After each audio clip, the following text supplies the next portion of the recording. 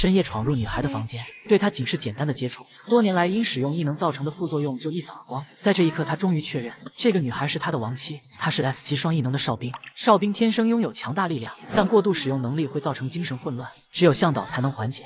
若没有得到及时疏导，就会失控暴走，就如前世她的丈夫一般。面对失控暴走的 S 级异能者，作为 B 级向导的她已无法阻止，但想到丈夫会死去，她还是冲进了火海。热浪终于来到了她的身边，没有丝毫犹豫。就开始进行了引导，他就像抱住了一团熊熊燃烧的火焰。可即便他感觉自己的身体在融化，也没有停止疏导。就在他快要失去意识时，说出了一直想告诉他却从未说出口的话：也许你从未爱过我，但谢谢你一直陪伴在我身边。她用最后的力气吻了丈夫的脸颊，我终于可以放下对你的感情了。再见了，我的爱。她向神祈求，如果有来生，请让她出生在一个温暖的家庭，遇到一个真正爱她的男人。她用生命的代价稳定了暴走的 S 级哨兵。希尔清醒后第一眼看到的。就是妻子烧到不成人形的身体。当他意识到怀中的人已死去时，本已平息的暴走再次失控，竟比第一次规模还要大上数倍，犹如沸腾的岩浆。他目光带着汹涌的恨意，像是要焚烧掉世间的一切。世界再度陷入黑暗。华丽的皇宫迎来了史上规模最大的宴会，贵族们蜂拥而至。睡着的女孩被轻轻拍醒。艾琳是他这一世的名字。神仿佛听到了他的愿望。这一世，他不仅有把她捧在手心的父母，还有了哥哥。我的妹妹刚睡醒就这么漂亮。他真想把这个肉麻的家伙扔出去。母亲训斥让他正经些。我说的都是实话呀，对吧，爸爸？女儿奴的父亲一脸得意。当然，我的女儿能不漂亮吗？作为一个现代人，他还是对这种直白的表达无法适应。但他衷心的感谢神。让他成为了这个温暖家庭的一员。神奇的是，这里是他前世读过的小说世界，讲述的是一位能往返不同位面的女孩，在另一个世界成为圣女的故事。他们现在就是去参加宣布圣女降临的宴会。前世，他读这部小说只有一个原因，就是里面对男二的描述，包括名字都与她丈夫一模一样。宴会大厅内几乎聚集了所有贵族。他忽然有点紧张。随着宣告皇太子到来，他望了过去，英俊的面容加上金发碧眼，那就是皇太子杰斯，也是小说的男主角。而在他身后出现的人。有着黑发与冰蓝的眼睛，希尔里奥帕特公爵不仅仅是相貌相同，甚至连那生人勿近的冷酷气质都与她前世的丈夫一般无二。即便在深度疏导的时候，她也时刻警惕着四周。希尔就像在防备未知的敌人一样，浑身都竖满了尖刺。只是 B 级向导的他，之所以能成为 S 级哨兵的专属向导，是因为他们拥有压倒性的匹配率。在他们相遇之前，希尔就曾是他的暗恋对象，成为他的专属向导，艾琳十分开心。可对方看起来并非如此。从那时开始。他们的关系就一直是他的一厢情愿。当他从上司口中听到希尔想和他结婚时，喜悦之情占据了他的全部情绪。艾琳看着高台上的男人，他和以前一样的帅，除了好像更年轻一些。神官宣布圣女入场，在看到他的一瞬间，艾琳惊讶到极点。那是他前世的同事李淑允，对方曾不止一次威胁他离开希尔。他下意识地说出了他的名字，没想到淑允竟然就是小说的女主。看到他与希尔站在一起，艾琳的心隐隐作痛。直到哥哥叫他。怎么样，圣女很美丽吧？艾琳应声说是。哥哥眨了眨眼，但还是我们艾琳最漂亮。他又开始说胡话了。哥哥的玩笑话让他恢复了精神。这一世因为有了家人的陪伴，现在就算看到他们站在一起，他好像也没太大感觉了。也因此，艾琳并未发觉。在大家全部都看向圣女的时候，希尔一直注视着她。他由始至终盯着台下鼓掌的女孩，目光流露出了困惑。很快到了艾琳的成人仪式，名为艾琳的星星升到最高处时，他开始祈祷：星星啊，虽然十年后的今日我仍然不太明白。神为何让我附身在这部小说中？但请让我身边这些温暖的家人长久的幸福生活下去吧。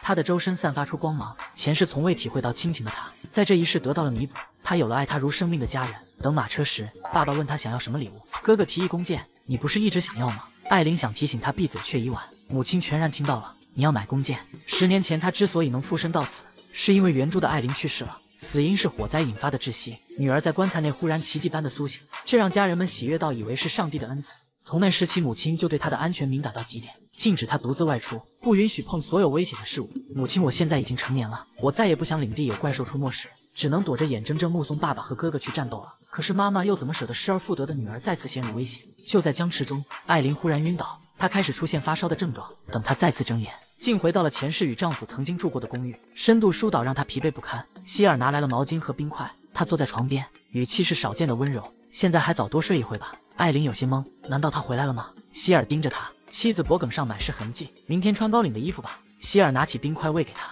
这个对身体降温有帮助。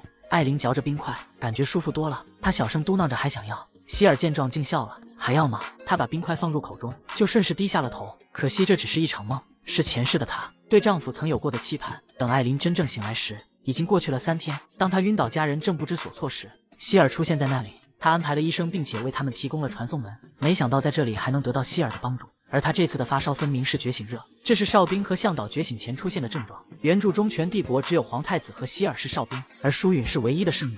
为什么他也觉醒成为向导了呢？此时的希尔桌子上正放着艾琳家的调查资料，他在宴会上清楚的听到，在圣女开口介绍自己前，艾琳就说出了他的名字。他不仅认识李舒允，还觉醒了能力。与艾琳不同的是，希尔的回归仅仅只有两周，他回到了去现实之前的时间线。不过这些对他来说都不重要，他的目的是再次回到 H 国，重新找到淑贤，他的妻子，也是他唯一的向导。只要能与他再次相见，哪怕付出一切，他也在所不惜。丈夫一同重生到异世界，前世对他冷漠至极的男人。突然成了执着于他的疯子。希尔在回归后，因为太过思念，甚至能经常见到妻子的幻影。可幻影就是幻影，是镜中月也是水中花，想拥抱却是虚空。使用异能的副作用加上精神上的刺激，让他又开始吐血。强烈的窒息感堵塞着他的呼吸，提醒他该接受疏导了。可他却没有，宁愿拿圣水来压制。只是最近圣水的效果也不明显了。以这种状态，在他重新见到妻子前，可能就要先接受圣女的疏导。他想起前几天遇到的女孩，总给他一种与淑贤相似的感觉。明明他们只有眼角的痣是一样的。希尔最初并不知道自己是哨兵，前世他弟弟有精神方面的疾病，因此从小被关在别馆。直到他跨越次元到 H 国，见识了各种能力的哨兵后，才知道弟弟也许是精神系的能力者。这一世他主动找到了艾登，告诉他他其实并没有生病，他不会再独自留下他了。艾登从小就能听见别人的心声，每当他忍受不了时，侍从就会用异样的眼光看着他。少爷，我们什么都没说呀。他们表面上笑着，心里却把他当成怪物，而他也在人们不停的否认中变得越来越严重。弟弟的讲述。让希尔确认了他也是哨兵，而且他拥有读取别人想法的能力。小艾登见到哥哥很开心，不仅是他最喜欢哥哥，还因为和哥哥在一起时，他就听不到那些声音了。希尔给他讲述关于哨兵的信息，并再三嘱咐，在你的向导出现之前，绝对不能依靠其他向导或圣女的能力。艾登一问，连圣女也不行吗？圣女在帝国有着毋庸置疑的影响力，他回归前也曾信赖过他，并相信了他说会带回很多向导，才跟随他跨越次元门去了 H 国。那时的他并不知道。舒允根本没有回来的打算，只是为了利用他而已。等他察觉到被骗时，已经被 H 国的政府束缚住了。在 H 国知道他是双异能的 S 级哨兵后，为了绑住他，便想让他与舒允强行刻印，但因为匹配率低到离谱而失败。而他和其他向导的匹配率也无甚差别。当时他们以为，因为他是异世界的人，所以与这里的人无法匹配。直到他第一次遇到舒贤，也就是他的妻子。一开始他真的很讨厌他。哥哥，思绪被弟弟拉回。抱歉，我想到了别的事。对了，艾登，我有件事想让你帮忙，和我一起去克罗修领地，帮我读取艾琳克洛修小姐的想法。还只是射出一箭，就把前世的丈夫射进了家门。男人登堂入室，不仅博得了所有家人的好感，还拖家带口的住了进来。艾琳觉醒为向导后，生活基本没有变化，只是她以前因火灾留下的伤痕，不知为何变成了花的图案。而母亲从她上次晕倒后，对她的管束就松了很多，还同意她练习射箭。前世她只是为了自己生存而训练，这一世她想守护家人们。练武场的风很大。还是正对着风向，但没事，这只是练习。艾琳拉满弓，以标准的姿势射出了一箭，箭在空中急速划过。本以为偏离轨道，就忽然正中了靶心。爸爸哥哥一脸惊讶，没想到逆风的情况，他第一箭还能射中。两人立即开启夸夸模式，把他整得又害羞了。他想，也许是风的帮助，但能得到家人的夸奖，他还是很开心的。艾琳不知道的是，不远处的天空有个男人。正一脸震惊地看着他，希尔带弟弟来到克洛修领地，但因没有直接到这里的传送阵，他们又坐了半天马车。弟弟因疲劳睡了过去，所以他决定先独自侦查。结果就看到了这样的一幕：女孩射箭的姿势与他前世的妻子一模一样。他一时愣住，习惯性的在他射出箭的瞬间放出了异能，帮他射中靶心，就像前世帮助妻子时那样。他不知不觉间使用了能力，在他身上又一次看到了淑贤的身影。世界上真的有人能如此相像吗？他激动到浑身战栗。如果只是偶然。怎么可能连触摸弓箭的小习惯都一样？这时，女孩的父亲猛地抬头，与她四目相对，男爵的眼神里满是敌意。糟了，被发现了！希尔降落在练武场后方，与他单独会面。他解释自己并不是有意的，只是带弟弟来视察边境，碰巧看到这一幕。一通交流后，对方似乎信了他。原来如此，但突然话音一转，那你为什么一直盯着我的女儿？希尔这才知道，男爵对他的敌意是出在这里。他总不能说是觉得他可疑，所以来调查的。就换了个说辞，那只是巧合，因为很少见到贵族小姐射箭，所以一时被吸引住了。果然是这样，我可不是因为那是我女儿才这么说的。她真的拥有不凡的才能。对方态度突变，让希尔再次呆住，但他很快反应过来，顺着男爵的话开始夸奖艾琳：“您说的对，所以我才无法移开视线，对吧？对吧？能得到阁下的认可，我也与有荣焉。我女儿明明才学了一周就能够百发百中，她就差把女儿奴三个字刻头上了。”希尔心想，他好像找到了怎么和男爵沟通的方法了。在得知希尔只是住在附近的旅店后，男爵竟发出邀请：“如果你愿意的话，要不要来我们府上住？请务必让我报答你上次帮助我们的恩情。”艾琳万万没想到，她避之不及的前夫，一转眼就被亲爹带回了家，还直接住了进来。小公爵第一次见嫂子，就吧唧亲了她一口，牵的手还未松开，哥哥就接了过去，跟着也来了一口，完了还笑得一脸意味深长。艾琳的心扑通狂跳，虽然知道这只是贵族的礼仪，可她还是无法适应希尔的这张脸。希尔绅士地帮他拉开椅子，迎接他入座。爸爸全然不知自己引狼入室，对公爵没有架子的行为更有好感了。艾琳喝水掩饰尴尬，又扇风驱赶脸上的热气，全然没注意小公爵在一直盯着他。晚餐就在讨论怪物的事情中结束了。艾琳很矛盾，明知道这个希尔不是她的丈夫。但在他面前，她还是和以前一样会紧张，而且她隐约察觉到对方看她的眼神好像是感兴趣的样子。为什么要突然来这里，让她心烦意乱呢？如果他家能再富裕一点，就不会因为传送门的事和他有交集了。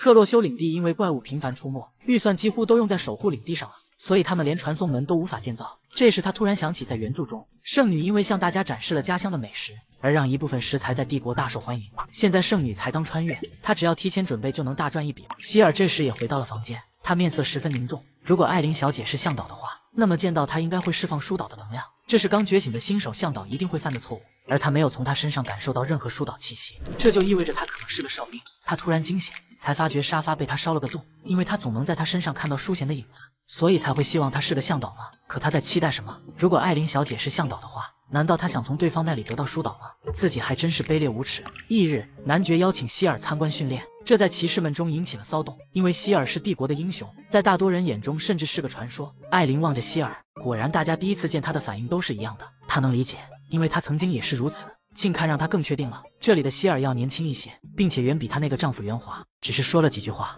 就让骑士们更加崇拜他。一名骑士鼓起勇气，提出想与他对练，因为听闻他除了作为哨兵拥有强大能力外，剑术也非常高超。男爵怕冒犯，刚想制止，希尔就取了剑，二话不说答应了对练。弟弟独自站在远处，他也想看，却又不好意思上前。艾琳便过去邀请小公爵，我们一起去看吧。艾登从第一次见面起就很喜欢这个姐姐，他害羞的靠了过去。艾琳笑了，看来他和希尔的性格完全不一样。说是对练，不如说是单方面的碾压。希尔仅单手持剑，就轻松挡开了对方的全力一击。骑士被震得双臂发麻，一个来回都没就败下阵来，全场震惊。公爵也太厉害了！艾琳的哥哥两眼放光，阁下，请和我也比试一下吧。希尔再次握紧剑，乐意奉陪。就在这时，警报声响起，骑士们训练有素的拿起武器，是怪物浪潮来袭。男爵看向女儿，我安排骑士护送你和小公爵回府。谁知话音刚落，希尔的风就已来到，他托起艾琳和弟弟。乘着我的风回去更快，两人预感不妙。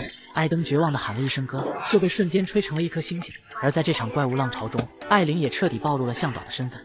哨兵对向导的渴望，让希尔在昏迷中抱紧了他。重生后从未进行过疏导的希尔，艾琳对他无异于致命的解药，平时需要很久才能解决的受潮，因希尔的加入，轻松就赢得了胜利。在场的人无不惊叹，原来这就是 S 级哨兵的实力。但异能越强大，副作用也就越明显。他再一次口吐鲜血。疼痛感加上眩晕，昭示着他必须接受疏导了。希尔转身飞走，但已经到极限的身体，没过多久就坠落到了地面，痛苦席卷着他全身每一个地方，副作用比上次更严重。他需要向导。艾琳在降落到地面时，竟因为一时的放松而释放了疏导信号。艾登身体一颤，他才惊觉失误。小公爵，你没事吧？但艾登从未接受过疏导，所以不理解自己是怎么了。他只知道自己不想与艾琳分开。艾琳让女仆带小公爵先回府。就在他转身离开时，男孩突然抓住了他。那个，你为什么要去后山？因为有怪物出没，我去看一下情况。可那不是很危险吗？我只是观察，所以没关系的。你可以放开我了吗？他好像不想自己离开。可艾琳无暇顾及他了，他担心父亲和哥哥。等他赶到后山时，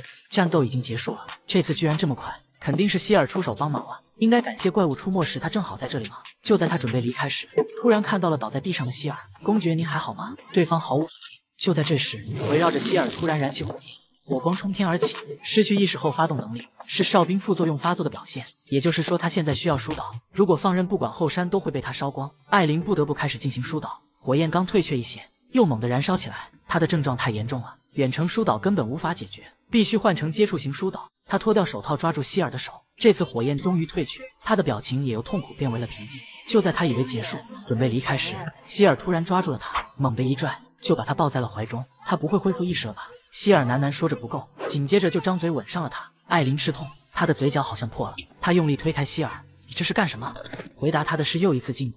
希尔俯身向他靠近，他能感觉到男人的意识好像还未恢复，这让他紧张到了极点。他挣扎着大喊：“公爵，你放开我！”就在他以为又要被砍时，希尔突然拿脸颊轻柔的蹭了蹭他，口中还轻轻呢喃着什么：“叔，我好想你。”因妻子的重生陷入狂喜，却不知对方早已替他出局，即便帮他疏导，也只是不想家里的森林被他烧毁。就在她以为被丈夫认出时，对方却晕了过去。艾琳松了一口气，前世的丈夫在接受疏导时也会说一些奇怪的话，没想到他之前就有这种习惯。不过现在最重要的是，他的嘴唇被希尔咬破了，不能被家人看到。希尔醒来时才发觉自己躺在后山，神奇的是他的状态很好，就像接受过疏导似的。发现他的男爵也觉得他不像晕倒，倒像是睡了个好觉。希尔首先想到的是圣女，但很快被他否认了。这种清爽舒畅的感觉更像是淑贤的向导。他很快就在弟弟那里得到了答案。艾登尝试了很多次，都无法读取艾琳的想法。男孩误以为他也是哨兵，但接下来的话让希尔陷入了狂喜。和艾琳在一起时，他感到心情舒畅，这是向导才有的能力。艾登继续描述着，特别是抓住他的手，感觉更舒服。虽然昨天在餐厅他不知为何没有感觉。你牵了他的手。哥哥的表情突然变得可怕。你为什么要牵他的手？压迫感让艾登向后退去。希尔这才反应过来自己失态了。抱歉，我只是太累了。他尽量让自己的语气变得平静。能告诉我你为什么牵他的手吗？因为姐姐说要去后山，我突然有种不想和他分开的感觉，所以下意识的抓住了他。等等，你刚才说后山？再三确认艾琳是真的去了后山，他突然有了一个疯狂的想法。如果是神怜悯他，让淑贤变成艾琳，重新回到了他的身边呢？那他迄今为止见到艾琳所产生的困惑，全部都可以解释了。艾琳就是他的淑贤。为了验证这一猜想，希尔准备在所有人熟睡时夜探男爵府，而艾琳和希尔的想法完全相反。今生无论如何，她都不想再和前夫扯上关系。不过希尔没有接受圣女的疏导吗？她状态糟糕到就像从没有接受过疏导一样。明明原著中圣女穿越后就立即帮她与皇太子做了疏导。这里和原著不一样的地方越来越多。曾经的她被爱情蒙蔽双眼，哪怕希尔冷酷的一面，她都觉得非常帅气。可现在不一样了，她的前夫是一个非常傲慢挑剔的人。最让她无法理解的是，前世的希尔回家时要求她必须也在家，如果发现他不在，就会不停的打电话直到他接听，并不顾一切找到他，强行把他带回家。而回到家后，希尔又会忙于自己的事情，对他不理不睬。他做什么事从不会告诉自己，但他见什么人，希尔都要知道。艾琳唾弃曾经这样忍受他的自己，那个男人究竟有什么好的？他甚至为了救她放弃了生命。深夜，趁着艾琳熟睡，希尔潜入了她的房间，为验证女孩是他前世的妻子。男人深夜闯入她的房间，可落地的一瞬间，女孩就惊醒了过来。毕竟他前世曾是军人，他拿出刚来这里时因为没有安全感，从哥哥那里顺来的武器，没想到有天能派上用场。在感觉来人已到身后时，猛地挥出刀刃，却差了些许没有击中对方。太黑的看不清那人的脸，他没有犹豫进行了第二次攻击，竟被一把抓住手腕。对方顺势按倒了他。正当他想大喊时，男人叫出了他前世的名字：淑贤。果然是你！你以为我会认不出自己妻子的疏导吗？艾琳完全懵了，她脑中一片混乱。你为什么不说话呢？希尔伸出手碰触他的嘴角，证据都这么确凿了。伤口处传来的触感让他一时动摇，竟然不自主释放出了疏导。两人瞬间连接，熟悉的感觉让希尔舒爽到颤抖。他情不自禁地仰起了头。多年来因使用异能造成的副作用一扫而光，艾琳这才惊觉他进行了疏导。希尔猛地抱紧了他，开始倾诉：“我找了你好久啊，亲爱的。”这在艾琳看来，他简直疯了。他用力推开男人，不明白这里的希尔怎么会认识前世的自己。阁下，我听不懂你在说些什么。希尔定定地看着他，紧接着就露出了然又疯狂的笑容：“是我深夜找过来吓到你了吧？对不起，我知道你一定很惊讶，但我实在是太想你了。”艾琳已经退无可退，希尔伸手抵住了门：“你要去哪里？”他就像是完全变了一个人，看向他的眼神既疯狂又执着。希尔再次抚上了他的脸：“亲爱的，我真的好想你。”我刚说了，我听不懂你在说什么。我不是公爵您认识的那个人。他突然感到愤怒，这一世他终于实现了梦想，有了他最爱的家人。可这个男人为什么又要来招惹他？希尔一脸惊愕，艾琳语气更加坚定：“我的名字是艾琳·克洛修，是克洛修家族唯一的女儿。如果你不立刻离开我的房间，我就要叫父亲过来了。”希尔开始动摇，呢喃着他前世的名字，被他厉声喝止。还有以后你要是再擅自闯入我的房间，即便你是公爵，我也会起诉你。希尔一脸的不知所措，他慢慢向后退去，身体随之漂浮起来。看来是我认错人了，抱歉了，艾琳小姐。随着希尔离开，艾琳脱力坐在了地上。说实话，希尔认出他，他是有一丝喜悦的。但也就仅此而已了。这一世他不会再任他摆布。希尔怎么都想不通，妻子为什么如此抵触自己？淑贤从未用过那么冷漠的眼神看他，以至于让他开始怀疑：难道是我哪里搞错了？他真的不在这里吗？手心传来刺痛，是刚才被女孩造成的伤口。不对，他挥动武器的样子和给他的疏导，都可以证明艾琳就是淑贤。只是他为何要拒绝自己呢？为了寻求答案，第二天起，希尔就像只小狗一样跟随着艾琳，他毫不掩饰自己的行为。自从被丈夫夜闯闺房。男人就成了她的小尾巴，不管她去哪都紧紧跟着，也完全没有遮掩的意思。前世那个冷酷傲慢的男人，如今满脸的幽怨，就好像他是什么负心人一样。艾琳被盯到食不下咽，起身离开。希尔的表情更委屈了，连妈妈都一副吃瓜的神情。他换上马装，决定骑马缓解下心情，却不想男人先一步出现。如果你是去散步的话，那我可以和你。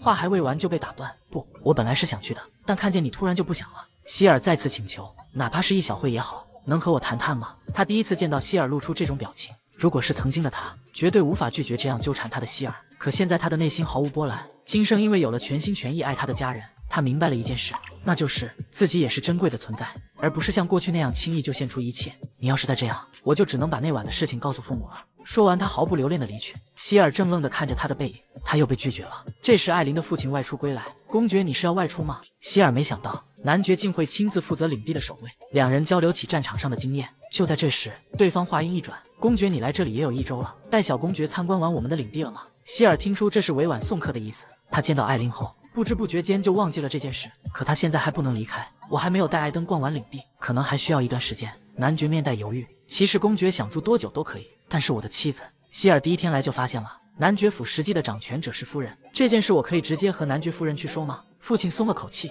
当然可以。其实是我的妻子怕对您招待不周，请您千万不要介意。身为公爵的他，无论在这里待多久。实际上，男爵是没有任何资格拒绝的，但他已经确认了艾琳就是淑贤，所以对方等于自己的岳父，他自然要留下好的印象。而出门采花的艾琳遇上了小艾登，他被掉落到身上的毛虫吓到快哭了，艾琳抓住，直接丢了出去。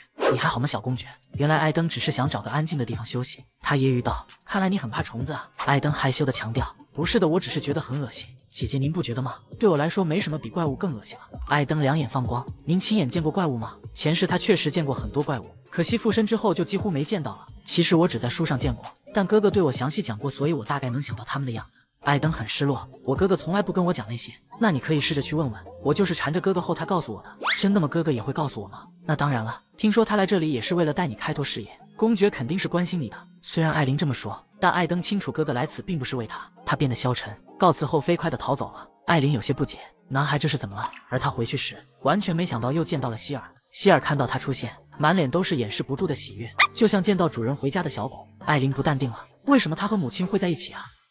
希尔露出兴奋的神情，哪怕女孩再怎么否认，他也能确定对方就是自己的妻子。可他却差点在准丈母娘面前翻了车。为了在女孩家多停留一段时间，他像平时对待其他贵族那样，拿出了一袋金币，没想反而惹怒了夫人。就在他不知所措时，女孩突然闯了进来，希尔就像看到了救星一样，希望艾琳可以帮帮他。可女孩在知道事情的原委后，也只想他赶紧滚蛋。对母亲来说，招待公爵是出于好意，而他拿出钱等于糟蹋了这份心意，这严重惹恼了他。虽然他们并不富裕，但也有贵族的自尊和骄傲。正当艾琳幸灾乐祸时，希尔突然装起可怜。他提到自己的异能并不可控，之前烧毁后山和卧室的沙发，所以他才抱有歉意想做补偿。他作为哨兵犯下这种错误，被传出去后也会很麻烦。在艾琳看来假到离谱的借口，意外竟说服了母亲。希尔看这招管用，更加卖力装起可怜。艾琳整个人都不好了，他居然把受世人赞美。被神赋予能力的哨兵说的跟个可怜虫一样。话说回来，这是只有哨兵本人和皇室才知道的机密。我因为受到您的许多照顾，没理由隐瞒夫人和克洛修小姐。哨兵如果没有向导的话，无异于一件残次品。从觉醒的那一刻起，就跟行走在没有水的沙漠上一样，无法缓解焦渴，只能忍受极刑般的在滚烫的沙子上无尽的走下去。只有两种办法可以停止痛苦，结束自己的生命，或找到只属于自己的向导。幸运的是，我找到了。您不好奇他是谁吗？正当艾琳担心他在妈妈面前乱说话时，母亲像预料到什么一样。对了，我还有急事，抱歉，得先告辞了。这次的谈话很有意思。希尔马上起身，走到门口帮他打开了门。夫人受宠若惊，我们家的男人可没您这么体贴呢。在艾琳也打算离开时，希尔再次叫住了他。在午餐之前，我们能聊一下吗？我只有一个问题想问你。看来不答应他。就会一直纠缠下去。无奈艾琳同意了。希尔先对那天晚上的行为做出了道歉。他有深刻反省自己。艾琳疑问：“你想问我什么？”小姐，你是在皇宫那次发烧才觉醒为的向导，也就是最近一段时间，所以我更无法理解，刚觉醒的你却能熟练的操控气息。还有，你知道吗？他突然靠近，向导只要被哨兵轻轻触碰，就会开始为哨兵疏导。两人再一次连接起来，希尔的身体开始颤抖，紧接着他得逞的笑了，就像这样。男人又一次擅自碰触她后。女孩终于被彻底惹怒，一掌拍开了他的手。那又怎么样？希尔看着被打的手愣住，但他马上恢复。新手向导的身边只要有哨兵出现，就会自动放出疏导。但小姐，您即使在密封的房间内，也没有放出一丝疏导。明明面前有我这个 S 级的哨兵，你就像早做过疏导似的。对此，我想听听你的回答。艾琳直到现在都不理解希尔今生为什么会一副恳切想要她的样子，但他知道自己绝不会再按他的意图做事了。我听不懂公爵在说什么。如果没有别的事，我就先走了。希尔这次没有阻拦艾琳。因为他发现一个让他无法接受的事实：他了解妻子的所有习惯和小动作。所以一眼就看出了刚才他有多么愤怒。他不明白为什么妻子不肯认自己。过去无论他走到哪里，他都会用殷切的目光追随着他。艾琳冷漠的态度让他彻底慌了。他抓住心脏的位置，那里传来一阵阵刺痛。明明只要你愿意承认，只要说一句你是我的妻子，我就愿意为你做任何事。公爵在这边努力追妻，另一位哨兵却坐不住了。圣女才刚来，他的朋友就跑了，而且这一跑就是一个月。皇太子杰斯不禁有点担心。明明听到神殿预言圣女降临时，最兴奋的就是希尔。这时侍从突然敲门，禀告是圣女来了。他激动的起身，圣女刚进入，他就热情的迎了上去。舒允虽然表面上淡定的很，但内心已经爽翻了。这么帅的人竟对他如此主动。其实他来这里是因为从上次疏导后，皇太子已经两周未联系他了。他以担心对方为借口，先找了过来。这个世界的人对哨兵向导并不了解，所以即使他们需要疏导，自己可能也不清楚。皇太子果然如他所料。是需要疏导的状态，殿下需要我为您疏导吗？杰斯犹豫了一瞬，对他伸出手。舒云马上开始了疏导。这是杰斯的第二次尝试，他有一种很奇怪的感觉，身体虽然充满了能量，但不知为何他反而更饥渴了。他想要更深度的疏导。只有 C 级的疏云其实并不能满足 S 级哨兵的需求。他当然不会把这个信息告诉皇太子，只会告诉他，光凭手是无法进行彻底疏导的。听到还有其他方法，杰斯激动地抓住了他。这正中舒允的计，他起身向男人走去，竟然直接坐在了他的怀里，紧接着就靠了过去，开始了第二轮的疏导。在对方得到满足后，他打起了希尔的主意。殿下，除您之外的另外一名哨兵在哪里呢？